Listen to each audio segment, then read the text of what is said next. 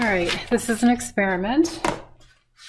What I did was I took some parchment paper, which is easy to come by at any grocery store, and I covered it with, uh, you know, this green painter's tape, and it doesn't really want to stick to the parchment paper, so it's going to be a really good release paper.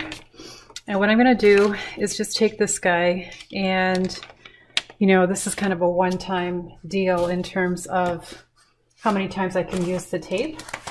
But when it matters, when surface quality matters, and in this case, the way I look at it, you know, I want the surface quality to be nice and opaque as far as painting around these circles, but I can tell right now that when you're painting around something, it's it's it just kind of looks like you're painting around it and you get all these marks, brush marks. So I'm going to try this and see if it works.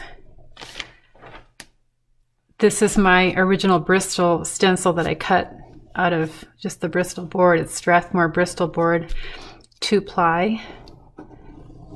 And I use this a lot to make my own stencils. And you can, you know, the good thing is you can use your stencils again and again. You don't have to buy them. So I'm just cutting, I'm going to cut around each one of these guys and then place that on the painting and then once I stick the tape onto my painting, I'll be able to get a nice even coat around all these circles instead of trying to paint around them, which drives me crazy. I really don't like to paint around things too much if it's going to be really strokey. So we'll see if this works. I really don't know if it is. I'll have to cut these out with a pair of scissors. But this could also be a really great tip if it works. So wish me luck on that. Okay, so there's the circles and you can see them really well. Now because the uh, parchment paper does not really like to have the, um, just seeing if this is dry yet, doesn't like to have the tape on there like it's going to be really happy when I peel it off.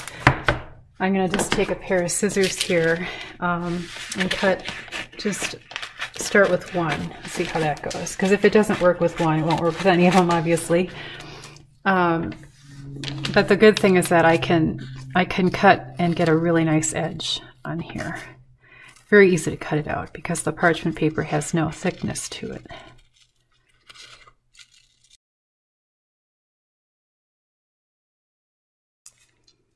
I just want to see if it's going to release from the parchment paper.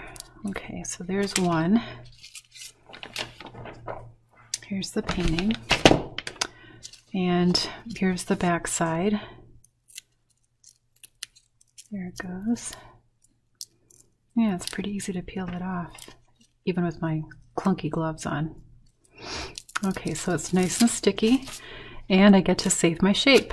So Put that on here and it should stick pretty well because I don't think there's any you just want to really get those edges.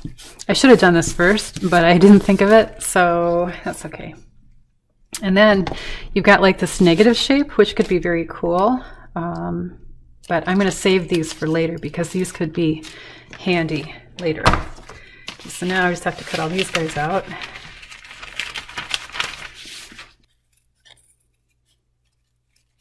Save these scraps for later. There's a pile.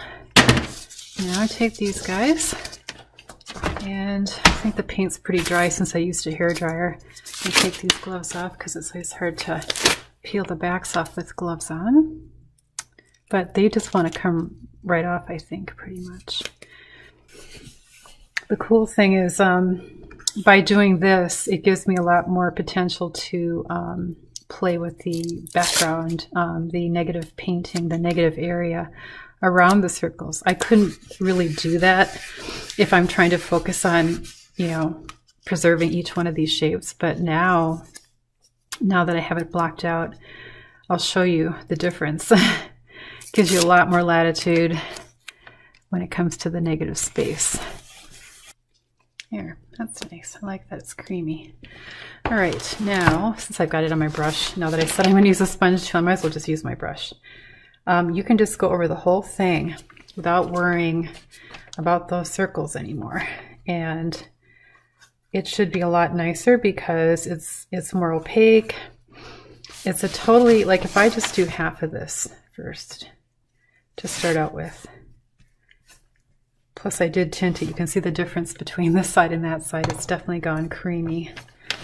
It's like a um, pale, buttery color. I mean, that's the freedom that this tape gives you, is you don't have to worry about, and look at how fast I can go. So if I just put that tape on in the first place, I could have gone a lot faster. Um, so notice the difference in opacity between this surface and that. This is all like, it looks crazy and it's, it's um, still very chaotic. So I like that. And I'm gonna put this on the other side as well.